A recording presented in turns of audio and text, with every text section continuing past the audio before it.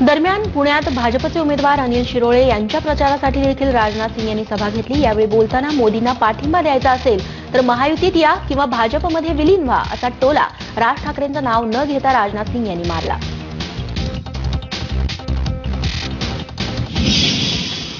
सुना सारी राजनीतिक पार्टियां नरेंद्र भाई मोदी नरेंद्र भाई मोदी को हम समर्थन देंगे।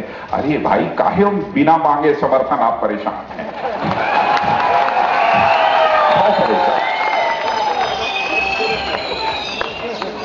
यानी यदि किसी को समर्थन देना है।